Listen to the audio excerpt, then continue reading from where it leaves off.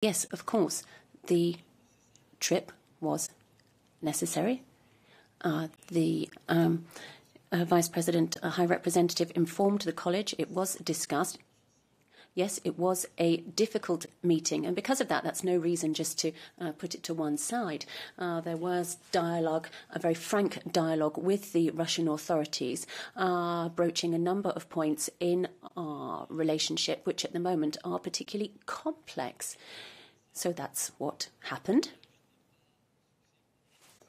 A trip is not a success or a failure uh, based on what happens in just one part of that trip, but the whole trip, and also on the lessons that can be learned uh, from the trip and our relationship with Russia.